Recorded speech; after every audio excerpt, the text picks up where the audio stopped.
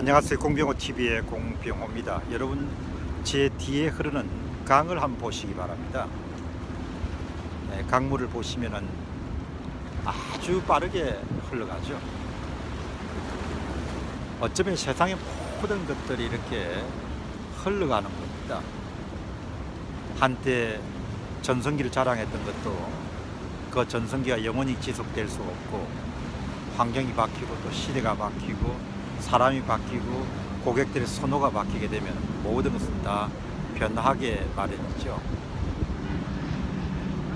제가 이렇게 빠르게 흘러가는 강물을 보면서 모든 것이 이렇게 흘러가기 때문에 흘러감 그 자체를 자연스럽게 받아들이고 또 흘러감 속에서 자신이 또 자신이 몸담고 있는 조직이 그리고 공동체가 무엇을 어떻게 잘 해야 하는가 이런 문제에 대해서 좀 솔직하게 질문을 던지고 답을 할 수 있으면 세상에 많은 그런 어지러운 문제들이 단순 명료하게 정리될 수 있을까라는 그런 생각을 해보게 됩니다.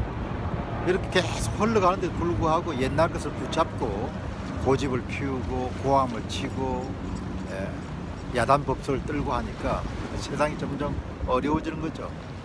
여러분 보시면 저 빠르게 흐르는 강물을 어떻게 멈출 수 있겠습니까?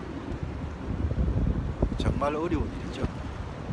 시대의 변화를 정확하게 이해하고 직시하고 그것이 맞춰서 뭔가를 이렇게 해내려는 그런 용기나 지혜가 없으면 개인이든 회사든 나라든 정말 고생길을 면하기가 힘들다는 그런 생각을 해보게 됩니다.